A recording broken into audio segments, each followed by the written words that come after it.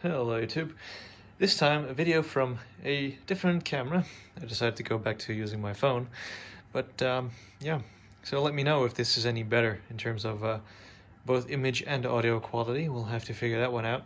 One of the main reasons I never used my iPhone for extended periods of time for filming is because the built-in cameras were built-in cameras, built-in microphones were mono only and pretty piss poor quality. So we'll have to see how this goes. I'm now rocking an iPhone 10R, and uh, from what I've seen and heard, it's really not all that bad in terms of camera quality.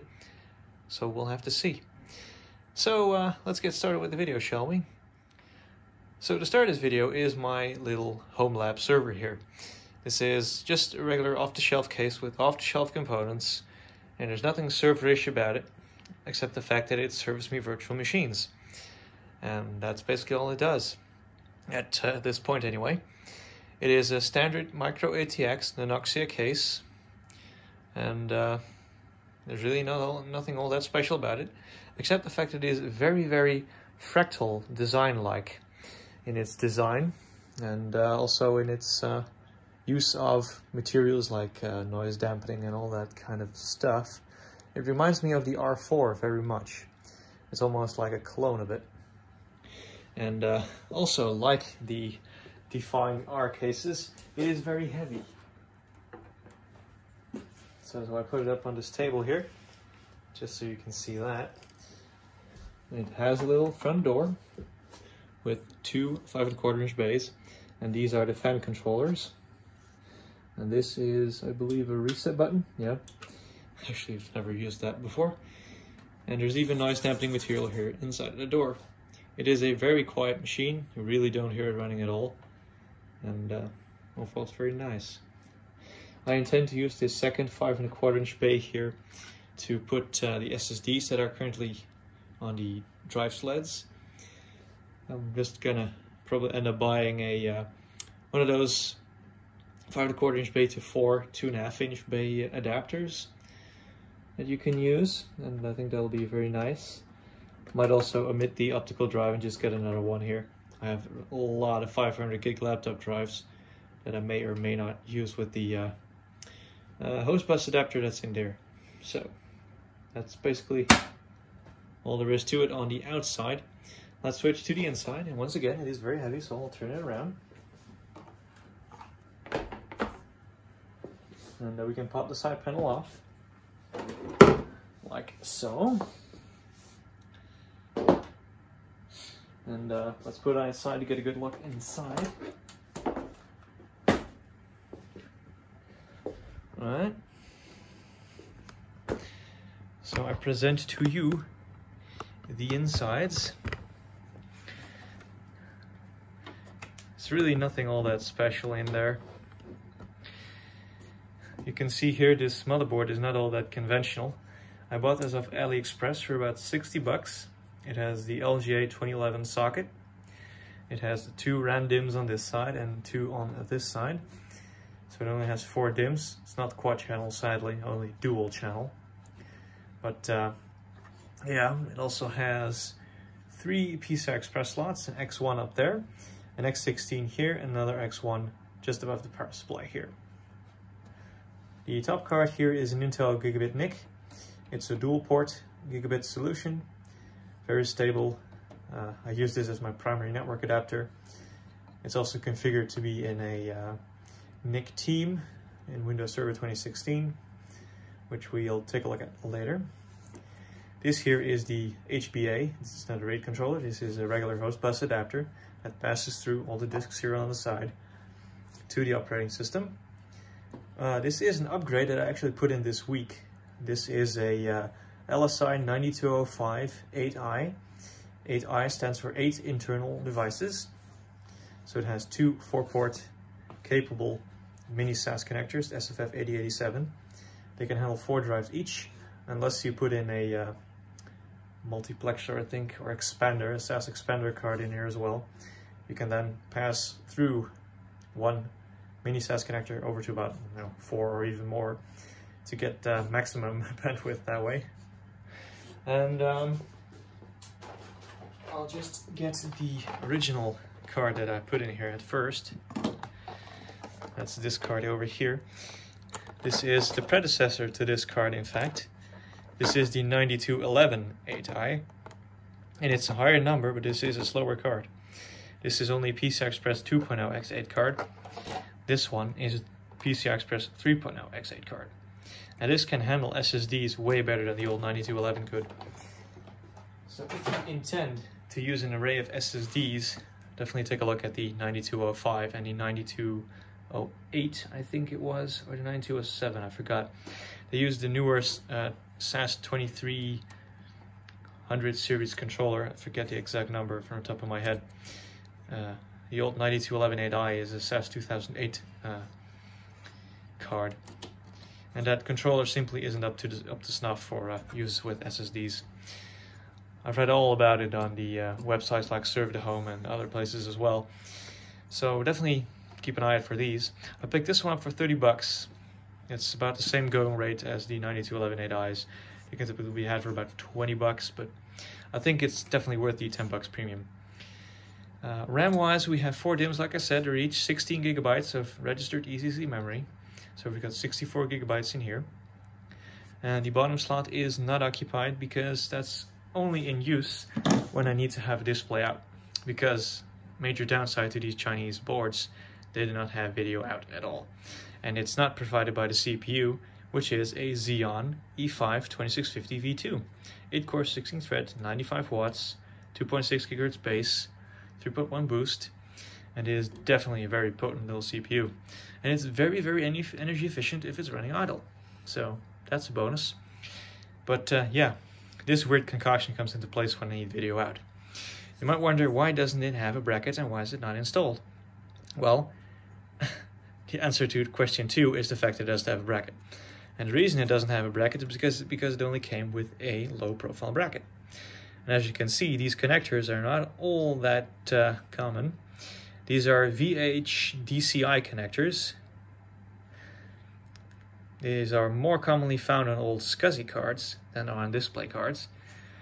And uh, I simply did not get a full-size bracket with it, and I, for the life of me, cannot find one. So if you have any suggestions on how to uh, get this to fit a full-size bracket, let me know in the comments below. But this is an old Radeon Fire MV 2400. Not a Fire Pro, no, a Fire MV. MV standing for multi-view, because this is a four display capable card. Uh, this is a really old one. This is about 2004, 2005-ish.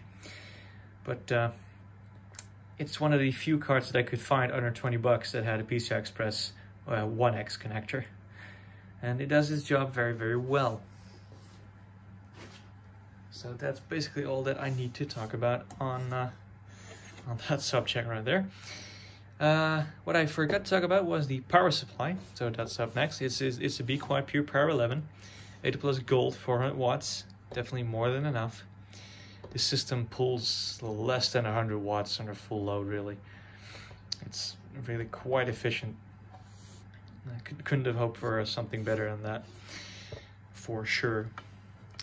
And the last thing, because I was talking about SSDs, is of course the SSDs. And they are over here in the drive cages. You can see one here.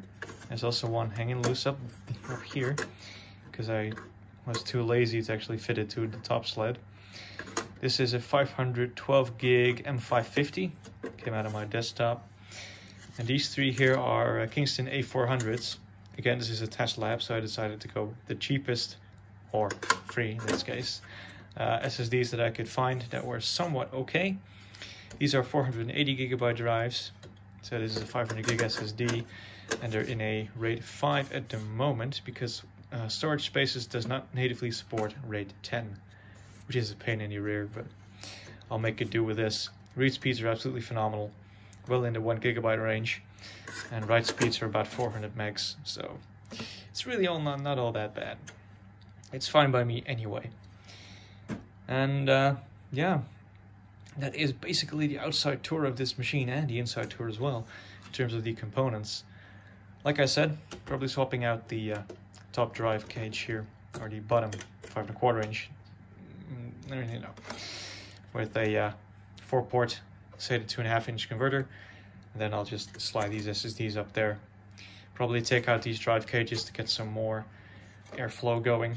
This extra auxiliary fan here is helping somewhat, but it, it's, it's really only there because I used to have hard drives in here, and that's that was only for a very short period of time. Anywho, that is basically the server on the outside and the inside.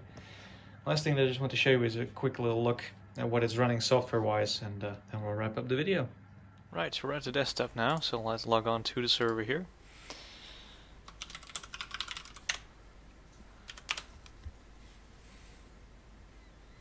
It's really not all that interesting, it's just a test server. So it is running Microsoft Hyper-V Server uh, version 2016. Just got some utilities here on the side that I needed for testing initially to find out how it performed. So because it is running Microsoft Hyper-V Server, or well it's just Server 2016 Data Center with Hyper-V role installed, it is used as a hypervisor. This is a level 2 hypervisor. And it just has a handful of VMs at the moment. These are all used for some purposes in my Windows Server 2016 certification when I read the book, I also like to build a VM and do the same stuff that they're describing. That way it's a bit easier to get your stuff done.